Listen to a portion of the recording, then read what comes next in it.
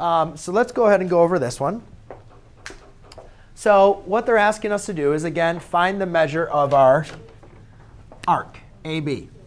Now we notice that this arc is less than 180 degrees, so we know that it is going to be our minor arc, right? Now, minor arc, we don't know the measurement of from here to here. We don't know this degrees. That's point R. Okay?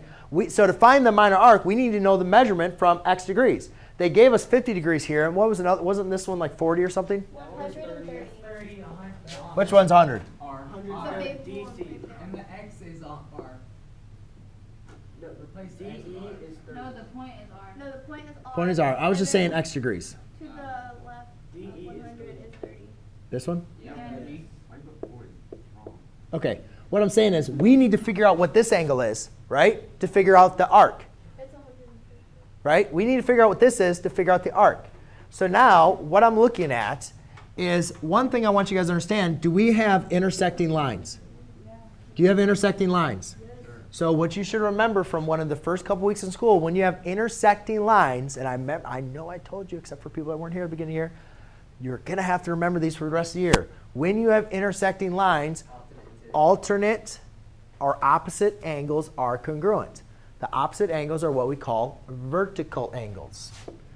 Alternate interior angles comes into play when we have parallel lines and a transversal. Here, sorry, 50, not 55. Sorry.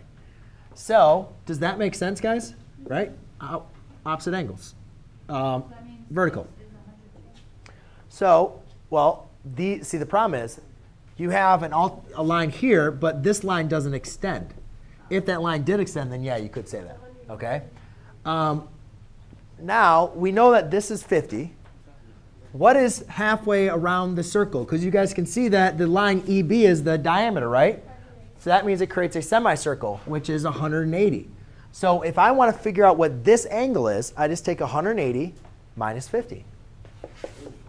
And Layla, that gives me 130 degrees. We need to do that. It's just corresponding. 100. Do you want us to write it out like that? Or? No, you can just write 130. I just wanted to write, show you, so those students that didn't understand would see where I got.